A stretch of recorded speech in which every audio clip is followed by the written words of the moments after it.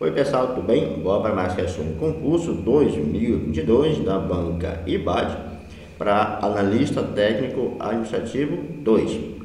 Em uma empresa, 42 colaboradores têm habilitação categoria B, 32 funcionários têm habilitação categoria A, 15 funcionários possuem habilitação das duas categorias.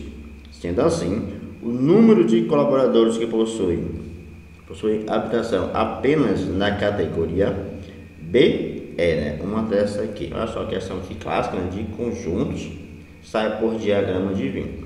É questão muito comum aí nos concursos, na parte de né, raciocínio lógico.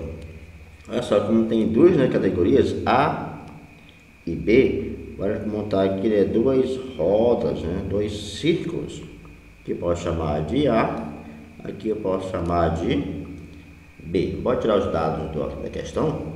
42 colaboradores né, têm habilitação B. Então, o B é 42, ok? 32 tem A. Então, o A é 32. Ele diz que 15 né, tem as duas, então A e B. A e B são 15 ele quer achar, né? ele quer achar o quê? Ele quer achar né? apenas o B. Apenas o B, tá? Isso aqui é o B, ele quer apenas o B, né? São coisas diferentes. Bora lá? Começa por onde? Né? Pela interseção. Deixa eu puxar aqui a caneta. Olha só, essa parte toda, toda é o A. Essa parte aqui, ó, e a interseção é A e B. Essa parte toda é o B. Só essa parte aqui, ó, só essa parte aqui, ó, é o A ou apenas o A. Só essa parte aqui, eu tampei aqui, ó, que é mais de ver, né? Isso aqui é só o B, só o B ou apenas o B. Tampei aqui, só o A ou apenas o A, beleza? Bora lá. Começa sempre pelo os dois, tá vendo? Interseção. A e B, ele diz que é 15.